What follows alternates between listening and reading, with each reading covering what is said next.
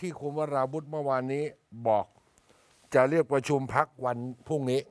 ตอนเช้า ใช่ใช่ค่ะก่อนจะโหวตเพื่อหารือแนวทางการลงมติเลือกนายกรอบสอง และคุณวราวุธติดใจสงสัย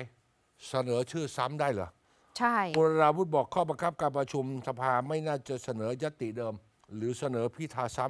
ำนักข่าวก็เลยถามว่าเป็นไปได้ใช่ไหมว่าพักชาติไทยพัฒนาของคุณท็อปจะงดออกเสียงอีก คุณวราวุธบอก ต้องดูก่อน อุ้ยค่ะอาจจะเห็นชอบเหรอะ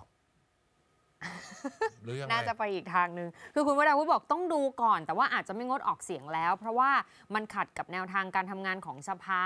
เราไม่เห็นด้วยที่จะเสนอชื่อซ้ำอีกค่ะอืมอืมอืมแล้วยังไงต่อ นักข่าวก็ถามต่อบอกว่าช่วงนี้แกนนำพักก้าวไกลกับ 8 พักร่วมเนี่ยเขาพยายามจะคุยให้พักการเมืองอื่น หรือสวที่เคยงดออกเสียงเนี่ยเปลี่ยนใจมาสนับสนุนนะคุณวราวุธบอกก็เป็นไปตามข่าว เมื่อสายวันที่ 16 ก็แปลว่าเมื่อวันอาทิตย์ ตอนค่ะสายพลตำรวจเสรีพิสุทธิ์โทรศัพท์มา มาหาคุณท็อป แล้วก็บอกว่า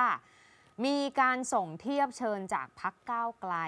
อยากจะขอให้พิจารณาการเข้าร่วมรัฐบาลอืมแต่ยืนยันไปคุณท็อปบอกแนวทางของชาติไทยพัฒนาคือ ไม่แตะต้องเรื่องการแก้ไขมาตรา 112 และเชิดชูเคารพเทิดทูนสถาบันพระมหากษัตริย์ นั่น แปลว่า ก็แปลว่าไม่ร่วมกับก้าวไกลถามย้ำเลย ค่ะ แสดงว่าถ้าพักก้าวไกลยังไม่ถอย1นึไม่สามารถร่วมงานได้ใช่ไหมท็อปวราวุธบอกจะว่าว่าอย่างนั้นก็ถูก หลายคนอาจจะสงสัยว่าทำไมตอนแรกถึงงดออกเสียงอ่าตรงนี้แหละที่ใช่อธิบาย อ่าการงดออกเสียงเนี่ยคุณท็อปบอกว่าไม่ได้แปลว่า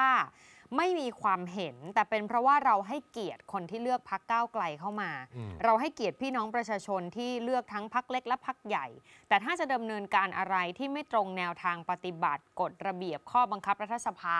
ก็คือหมายถึงถ้ามันติดขัดข้อบังคับข้อที่ 41 เนี่ย อันนี้จะเป็นอีกเรื่องหนึ่งค่ะคุณท็อปบอก